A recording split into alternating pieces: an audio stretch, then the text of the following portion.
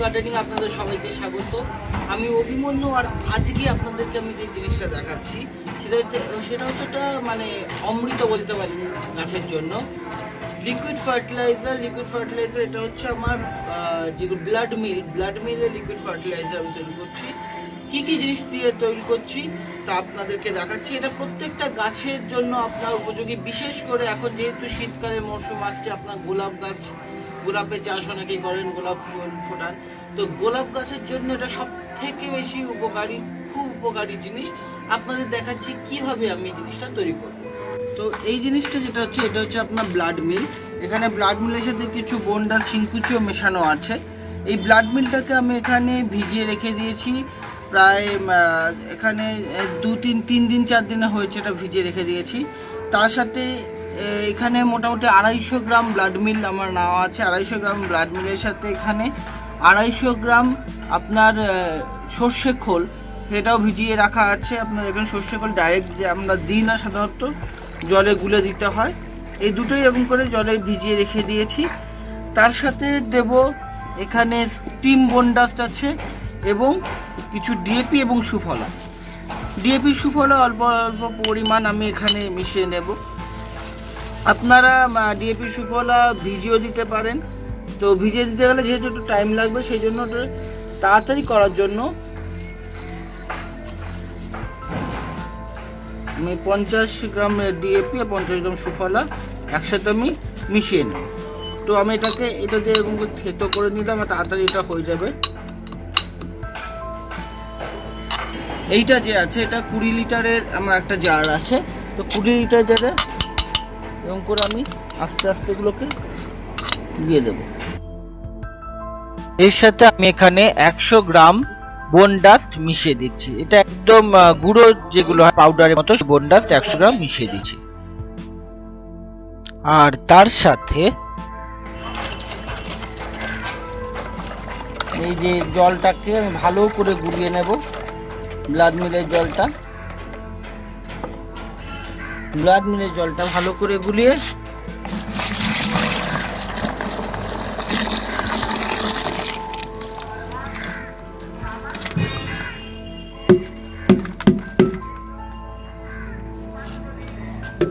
আর তার সাথে সর্ষে খোলো আমি গুলিয়ে এর মধ্যে দিয়ে দিলাম।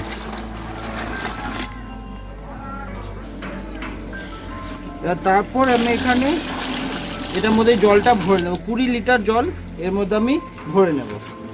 এবার এই যে জলটা আছে, এই জলটাকে ভালো করে গুলিয়ে নিতে হবে। তলা থেকে ওপর অব্দি ভালো করে এটা আপনি গুলিয়ে নিতে হবে আমাদের।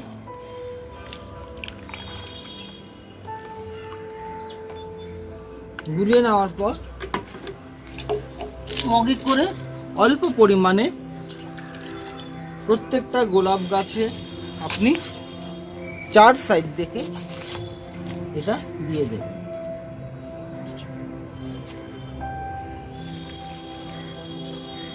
টব অনুযায়ী মাপটাকে ঠিক রাখবেন আপনারা।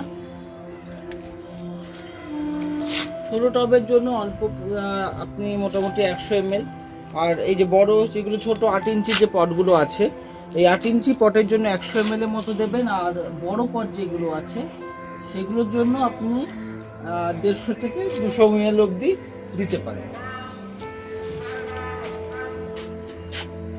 এরকম করে প্রত্যেকটা গাছে চার সাইড থেকে দেবেন। আরেকটা কথা বন্ধুরা, যখন এই সার দেবেন, তার আগে যেন গাছটায় ভালো করে জল দেওয়া হয়ে থাকে। আমি কালকে রাত্রিবেলা, কালকে সন্ধ্যাবেলা আমি জল দিয়ে রেখেছি। আর আজকে আমি জলটা সারটা দেবো কেন? জল না দেওয়া থাকলে গাছের আহ, কোনো স্ট্রেস না থাকে। যখন দেবেন তাতে তখন যেন গাছে কোনো স্ট্রেস না থাকে। স্ট্রেসের মধ্যে থাকলে কিন্তু সেটা গাছে নিতে গাছে গ্রহণ করতে কিন্তু খুব সমস্যা হয়। সেটা উল্টো রিয়াকশনও গাছের পক্ষে হতে পারে। আর যখন দেবেন ভালো করে প্রত্যেকবার এরকম করে গুলে নেবেন। তো আশা করি আপনাদের ভিডিওটা ভালো লেগেছে। যদি ভিডিওটা ভালো লেগে থাকে, আপনারা ভিডিওটাকে লাইক করুন এবং শেয়ার করে দিন অন্যদের মধ্যে। আর যারা নতুন এসছেন, তারা সাবস্ক্রাইব করুন। এরকম ভিডিও আরও পেতে। আর এই যে জিনিসটা আপনি প্রতি পনেরো দিন অন্তর এরকম সার আপনি যদি গাছে দেন, তাহলে গাছের গ্রোথও যেমন ভালো থাকবে ফুল ফলও আসবে। তো আজ এ পর্যন্তই থাক বন্ধুরা। দেখা হচ্ছে পরবর্তী ভিডিওতে। ধন্যবাদ।